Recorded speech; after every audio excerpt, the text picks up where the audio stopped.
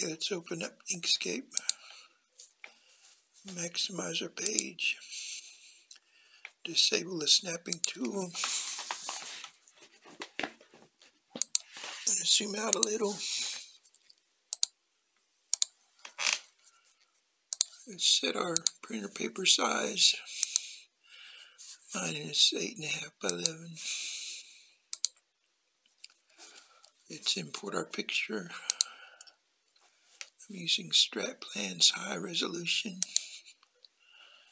And as you can see, the resolution is real high on this, which I love, which means if we uh, expand it, it's not going to get blurry. So yay for that. Okay, open it. Click OK. Now, um, since we're just going to be using this area, it's going to be a whole lot easier just to crop this out and get rid of the rest because we're going to be have to be uh, dragging this around and it's just easier to work with when it's smaller. So, uh, um, well, first thing we need to do is bring in our guidelines. So let's do that. And what we need to do is uh, make this area totally horizontal so it lines up with this, one of these lines. So we double left click it, drag it around. I have to get it perfect right now because all we're doing is kind of getting an idea of how vertical it is. That's pretty close. So what we're going to do now is crop this area here. So take your, okay, deselect that.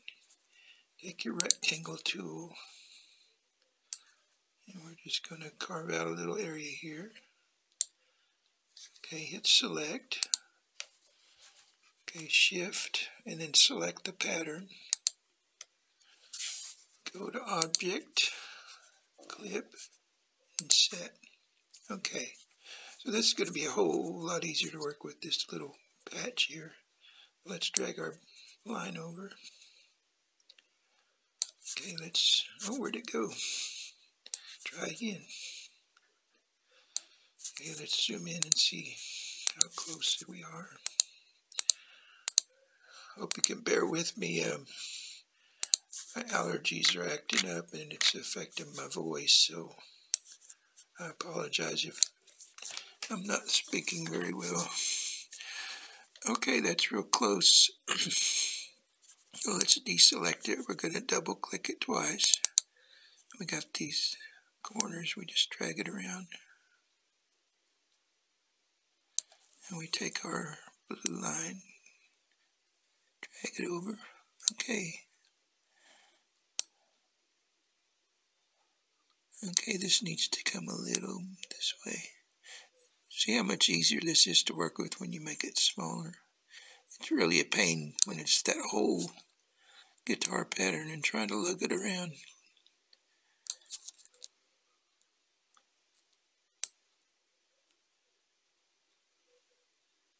Okay, that's good. okay, the um, the point of reference we're using is the fact that from the point, the center of this hole to the center of this hole is 71 millimeters. And we are set on millimeters. So let's go to our rectangle tool. We'll make us a rectangle. And the object of this rectangle is to get the center of these holes to fit into the top, top and bottom of this rectangle. Okay, 7, 1, period, 0, 0. Lock it and enter. Okay, now we're going to make it transparent.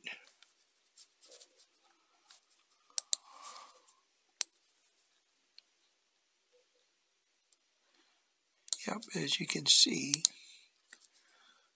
this uh, needs to be bigger so it'll match this hole here. So let's drag it just to, okay we are locked so that's what we want let's drag it a little bit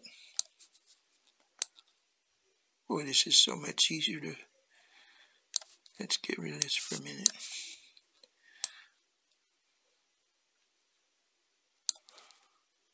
Okay, it's a little too big. Let's zoom in.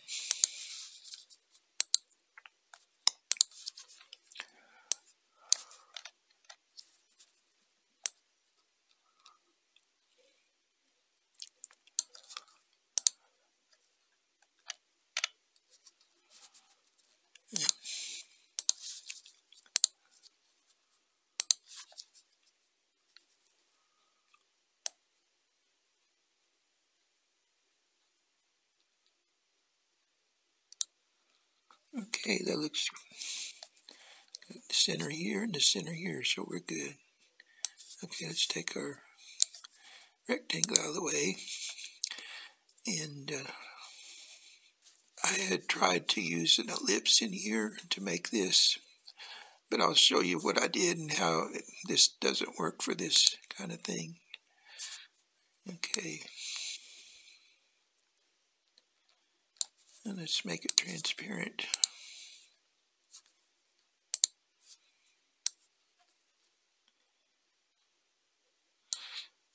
Okay, let's zoom in.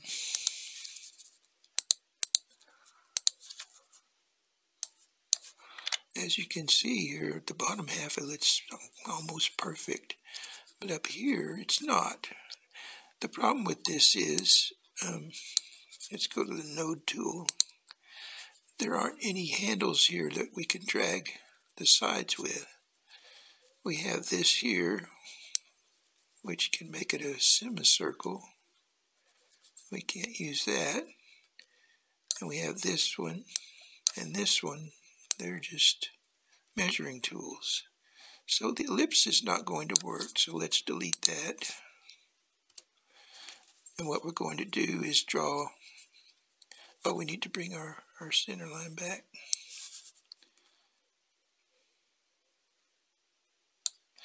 We're going to draw a straight line here and curve it. And I'll show you. Okay, let's go to the Bezier tool. We're just to the edge of that blue line. We start here. One left click. Click here. And double click here. Let's uh, change that color. Okay, shift red. I want to be able to see it better. Let's go to our stroke width change this to 0.5.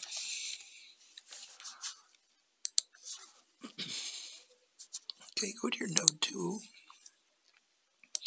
and just drag this like so.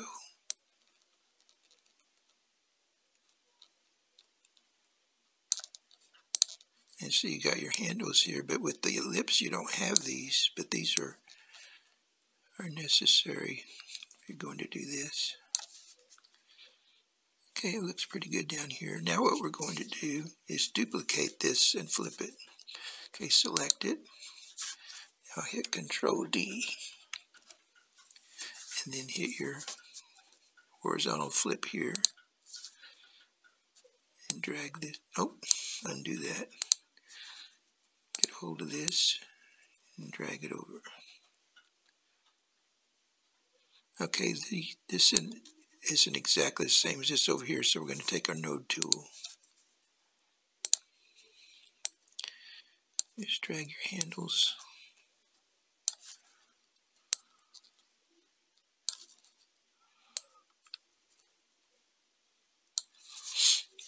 Okay, okay, that looks good. Now we're going to make our holes here. Your holes aren't absolutely necessary because you really don't need them until you drop your output jack into the cavity and your jack has your screw holes in it and you can mark them that way. But I like to be kind of precise, so uh, we're going to do this anyway. You can leave out this whole part here if you want, but go to your circle tool select it.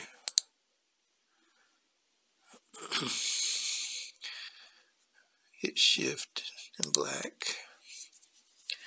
Okay, let's unlock it. And the way we make this totally round is that the width and the height are the, the same uh, measurement. So we're going to go 4, tab, 4, and enter, and lock it. Now let's make it transparent. And drag it over here. Let's zoom in a little.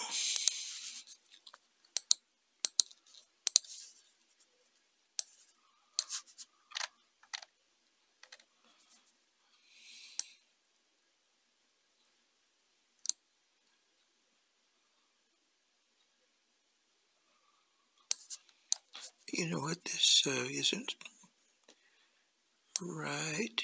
Okay, now it's centered. Let me check, see it. Okay, it's centered there too. So now let's take our and drag it.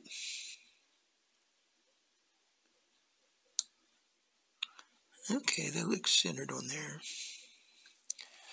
Okay, let's duplicate this one. Control D. Pull it out and drag it down.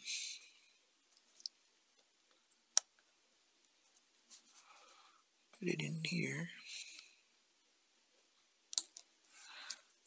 Okay.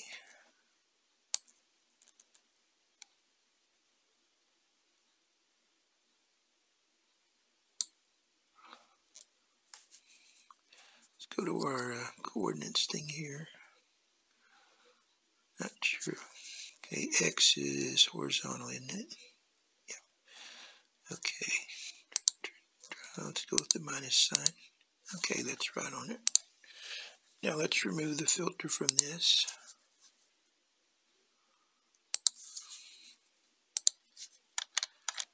Move the filter from this one.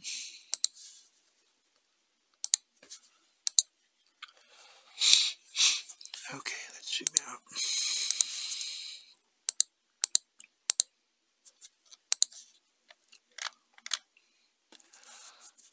Okay, let's turn on the snapping tool. Grab your Bezier tool. Left click once here. Left click twice down here. Okay, now we remove our guidelines. Delete all guides. And let's zoom out. Now we're going to take our pattern away.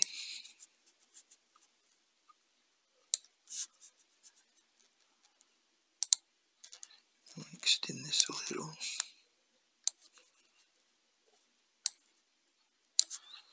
Okay, let's group it now. Make it all the same color so you hit shift and black. Now we'd make the stroke width all the same.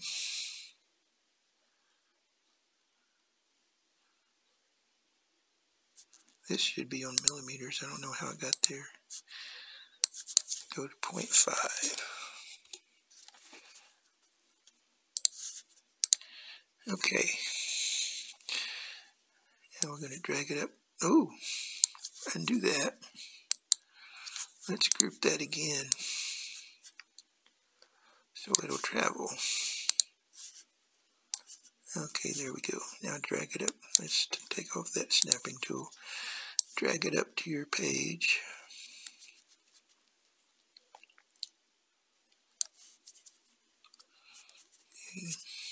That looks real good. Let's zoom out.